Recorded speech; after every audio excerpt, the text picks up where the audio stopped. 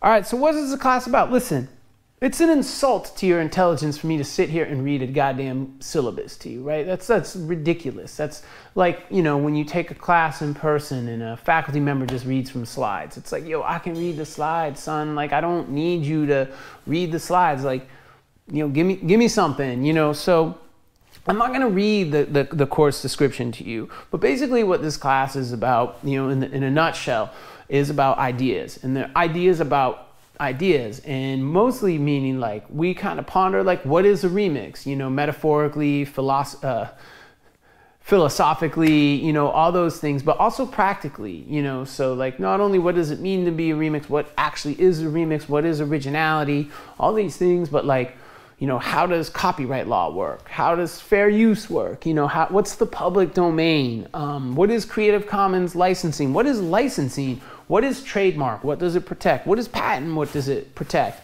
That's kind of like you know the practical thing and i'll talk more about that you know um, later in the module and some of the other videos and stuff like that but you know basically we're going to look at how y'all as students you know um, are creators of intellectual properties every day you know, stuff that's copyrightable or maybe trademarkable. You know what I'm saying? And um, also, y'all infringe on copyrights and trademarks every day.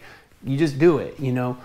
Um, so we'll kind of go over that, you know, and kind of like flush, flush, flesh out all, all this stuff. What does it mean, when, you know, when you can own food, like own how food is made and monopolize how food is made and you know, own seeds, like what does that mean? Or medical procedures or vaccines or whatever it is, or what, what does it mean to own a font? You know, um, how long when you take a picture uh, on your phone and post it, you know, or, or, you know, on Instagram or your TikTok video, do you own the rights to that? And the answer is yes, you own that shit for your life plus 70 years. Is it economically viable? I don't know you know but if it is you know you own that for, for a long time and your great grandchildren will, will own that. So you can read through that. You can also read through the expected learning outcomes. Let me just summarize the expected learning outcomes. You're going to learn some shit. You're going to learn some stuff. You know I, I guarantee here's the deal you probably like don't know why you're in this class or you're here because you need a you know an arts and letters or you're here because it's asynchronous and you know, you don't want to, you're zoomed out, you know what I'm saying? Or like you're an athlete and this is just easier for your, your schedules or, or whatever, whatever it is, you know. Um, but, you know, the, the, the curriculum in this class, like, it may be a little boring at times, you know, even when I'm giving fire lectures on my tractor or, you know, whatever, um, you know, but like, it's, it's gonna, it's to impact you all the time. Like intellectual properties are like half or more of the United States economy are based on them. It's, it's our largest gross export to the world. Almost 40% of our exports are intellectual properties. And what we make here are our patents, our trademarks, our copyrighted material. That's what we have, as, that's what we create and, and, and put, push out to the world. Um, and in pretty much almost every job that you will have, you will be dealing with these things in some capacity. And you don't even you won't even know. So this will really set you up in so many ways like, oh, like I want to start a fashion company or a fashion brand. Well, maybe I shouldn't make my logo look like the Thrasher logo.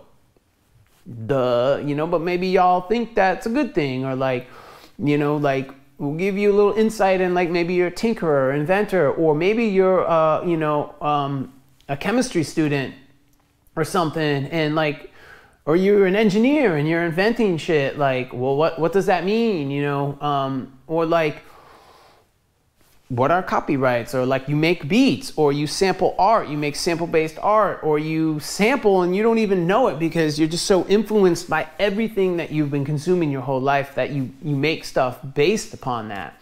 Um, you know but you'll be dealing with this in your in your future um, intellectual property in, in some way very directly or in some ways not so directly but it will affect you um, you know in so many ways um, just a disclaimer this is not a law class, this is a legal culture, legal theory, you know, philosophy of law, of culture, of subcultures class. Um, but it's not a law class. Don't take this as legal advice. Uh, you know, intellectual property rights and the laws that per, you know protect those rights or create those rights are hard to understand, they're a little bit convoluted, and they're never um, bright and clear, meaning like there are law, laws up for interpretation. So if you get sued for something or a cease and desist letter or whatever, don't say, well, Andre said, you know, um, take this, what you get in this class, you know, think about it, use it in a way that's valuable to you, um, but don't take it as legal advice, okay? Um, so what's the workload for this class? You know, you basically have two modules per week. They should take you two and a half hours to complete, and that includes watching the videos, doing the quiz, and writing a short under one page response um, to it. And then maybe a couple hours or less per module of reading, watching stuff, listening to podcasts, or whatever that you should do before um, before class. And um, each module will have things to do before module you know, one or things to do before module 10 and it will be, you know, a couple podcasts or comic books or whatever that you should read or, or look at, right? I'm not, I'm not to, you know, you know, make you read stuff, but I ask you to read stuff and watch stuff. And an important note is in the quizzes, I do include stuff from the readings and viewings, but it's only stuff I talk about in the lectures. So I won't quiz you on some random shit buried in a chapter. That's like another mean thing that faculty do, and I don't get it. Um, but I won't, I won't do that to you. Um, I'm a little soft about that. So, you know, to have success in this class, weekly, eight hours roughly, um, there's a final project. You know, that should take you five to eight hours to, you know, complete, you know, from um, conceptualization to execution, roughly. Um, you know, there's, yeah. And so I'll get more into that.